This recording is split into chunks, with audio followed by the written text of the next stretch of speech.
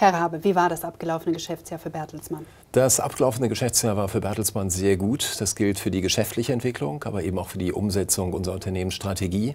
Da geht es ja darum, das Unternehmen breiter aufzustellen, nämlich auf drei Säulen. Mediale Inhalte, Dienstleistungen und Bildung. Und was heißt das konkret in Zahlen für das abgelaufene Geschäftsjahr? Der Umsatz ist gestiegen auf 16,4 Milliarden äh, Euro, auch dank der Transaktionen, die wir durchgeführt haben im letzten Jahr.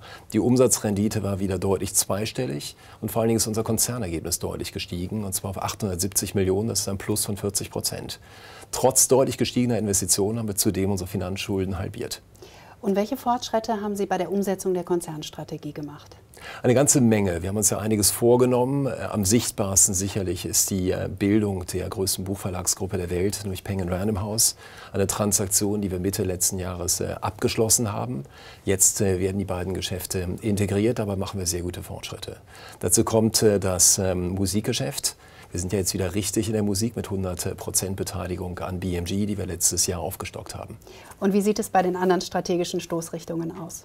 Sehr wichtig ist für uns natürlich die Transformation unserer Geschäfte, vor allen Dingen die digitale Transformation. Auch da gute Fortschritte, wenn sich RTL anschauen und das Geschäft mit sogenannten Online-Videoabrufen, Steigerungsraten von über 100 Prozent auf 16,8 Milliarden Videoabrufe. Damit ist RTL heute im Bereich Online-Video einer der größten Spieler auf YouTube. 2013, also ein gutes Jahr. Wo geht die Reise hin für Bertelsmann?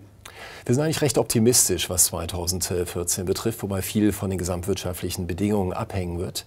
Äh, wir gehen davon aus, dass wir unsere Umsätze weiter steigern werden, auch unsere Ergebnisse auf hohem Niveau halten können. Und wir werden weiter an der Umsetzung der Strategie arbeiten. Da gibt es zwei große Themen, schon zu Jahresbeginn der Erwerb von Netrada und der Ausbau unseres E-Commerce-Geschäftes. Und ein zweiter Schwerpunkt im Jahre 2014 wird äh, der Ausbau des Bildungsgeschäftes sein.